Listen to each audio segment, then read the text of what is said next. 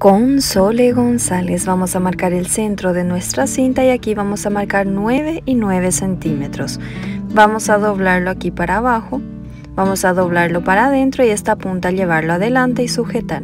Repetiremos aquí, vamos a doblarlo, llevarlo para adelante, doblarlo para adentro y sujetar. Vamos a marcar el centro de la puntita de nuestra cinta de esta manera y este centro aquí vamos a llevarlo aquí en el centro. También vamos a doblar la cinta, sujetarlo y vamos a hacer otro igual y vamos a darles 1, 2, 3, 4, 5, 6, 7, 8 puntadas a ambas y unir cosiéndolas.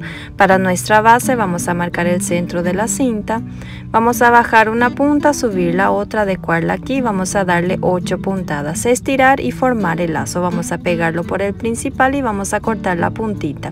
Vamos a empezar a finalizarlo en una hebilla de 5 centímetros con una cinta gross de 1 centímetro. Vamos a decorarlo con un aplique de charitos accesorios, aplicarle pegamento instantáneo, un feltro, decorarlo y este es el resultado. Si llegaste hasta aquí, déjame en los comentarios desde donde acompañas la página para un saludo especial en el próximo video.